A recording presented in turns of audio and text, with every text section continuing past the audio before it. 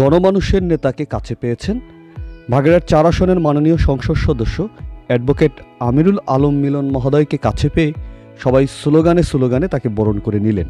শরণখোলা উপজেলার চার নং সাউথখালী ইউনিয়নের পাঁচ নং ওয়ার্ড, উত্তর সাউথখালীর পাকার মাথা ভেরিবাদ সংলগ্ন এই রাস্তাটি বৃষ্টিকালে নিচ থেকে উপরে গেলে বা উপর থেকে নিচে গেলে সড়ক দুর্ঘটনা হতো বা যে কোনো দুর্ঘটনা হতো। সেই সড়কটি সেখান থেকে কংক্রিটের ঢালাই দিয়ে সেই সড়কটি পাকা করে ফেলেছেন এবং সেই সড়কটি উদ্বোধন করলেন বাগেরহাট চার আসনের মাননীয় সংসদ সদস্য অ্যাডভোকেট আমিরুল আলম মিলন মহোদয়। এরপর তাকে নিয়ে ভেরিবাদের উপরে গেলেন, তখন তিনি সবার সাথে কথা বললেন।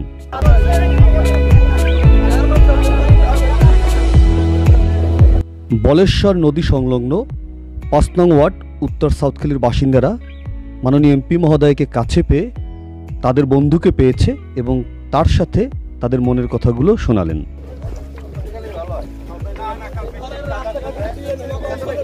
উত্তর সাউথখালি পাঁচ নং ওয়ার্ড পাকার মাথা ভেরিবাদে বিশাল আকার একটি ফাটল দেখা দেওয়ায় এবং ব্লক সরে যাওয়ায় সেখানে ভেরিবাদের ভাঙন সৃষ্টি হয়।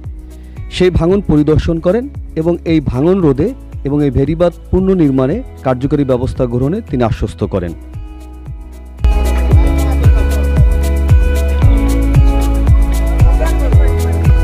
তার সাথে উপস্থিত ছিলেন শরণখোলা উপজেলার আওয়ামী লীগের সভাপতি ও তিন নং রাইন্দা ইউনিয়নের চেয়ারম্যান আলহাজ আজমল হোসেন মুক্তা, শরণখোলা উপজেলার আওয়ামী লীগের সাধারণ সম্পাদক আসাদুজ্জামান মিলন ময়ূরগঞ্জ উপজেলার আওয়ামী লীগের সাধারণ সম্পাদক এম ইমদাদুল হক, শরণখোলা উপজেলার